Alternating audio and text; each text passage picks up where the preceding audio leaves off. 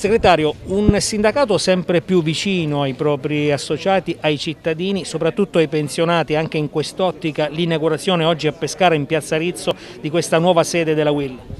Sì, certamente, noi già questa è una sede che noi avevamo già attivato alcuni anni fa e che eh, praticamente ospitava solo i pensionati e quindi un po' si occupava solo dei pensionati. Noi abbiamo voluto eh, che questa sede diventasse una sede eh, confederale, nel senso che la WIL, oltre che avere i pensionati che è ovvio hanno delle esigenze particolari, ma noi eh, riteniamo di dare un servizio a tutta la collettività che abita in questo quartiere quartiere avendo presente che è un quartiere che sicuramente ha bisogno di servizi e noi saremo a loro disposizione. In questi quartieri di, eh, di carattere popolare eh, ci sono problemi sia di carattere previdenziale, eh, di sostegno al reddito, eh, di problemi fiscali, di problemi abitativi, di problemi anche riguardanti anche la disabilità, riguardanti. quindi noi fortunatamente siamo un'organizzazione che può mettere a disposizione una rete di servizi che possono rispondere a questo e ad altro che magari in questo momento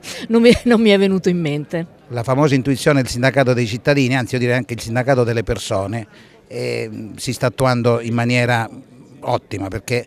noi cerchiamo, cercheremo sicuramente di stare vicino alle persone che hanno bisogno, alle persone che soffrono di disagi e quant'altro. Quindi poi strategicamente una zona qua, la zona sud di Pescara che eh, diciamo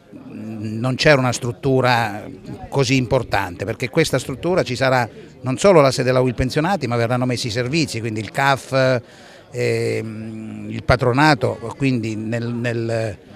eh, avremo sicuramente, io mi auguro molto successo, io come segretario generale della UIL pensionati di Pescara mi auguro che questa possa essere diventare una zona a disposizione di tutti.